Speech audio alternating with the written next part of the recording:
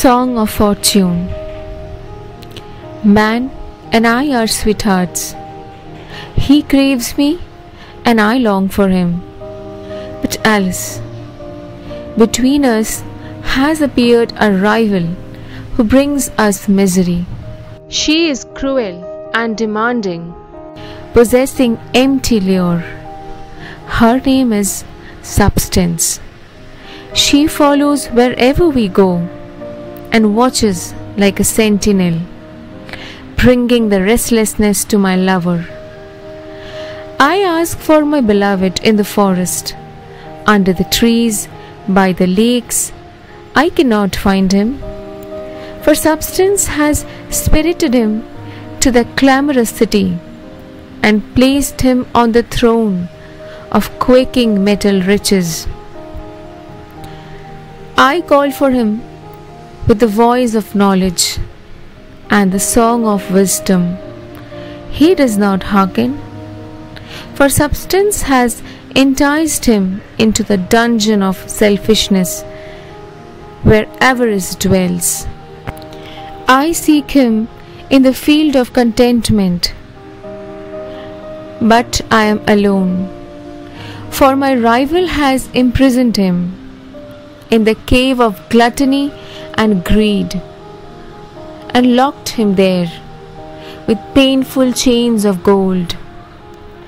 I call to him at dawn when nature smiles, but he does not hear, for excess has laden his drugged eyes with sick slumber. I beguile him at eventide when silence rules and the flowers sleep but he responds not, for his fear over what the morrow will bring shadows his thoughts. He yearns to love me, he asks for me in his own acts, but he will find me not except in God's act. He seeks me in the edifices of his glory, which he has built upon the bones of others. He whispers to me from among his heaps of gold and silver. But he will find me only by coming to the house of simplicity, which God has built at the brink of the stream of affection. He desires to kiss me before his coffers, but his lips will never touch mine, except in the richness of the pure breeze. He asks me to share with him his fabulous wealth. But I will not forsake God's fortune. I will not cast off my cloak of beauty. He seeks deceit for medium. I seek only the medium of his heart.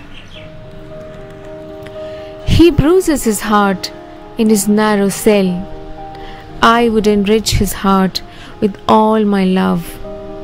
My beloved has learned how to shriek and cry for my enemy, substance. I would teach him how to shed tears of affection and mercy from the eyes of his soul. For all things, an utter sighs of contentment through those tears. Man is my sweetheart. I want to belong to him.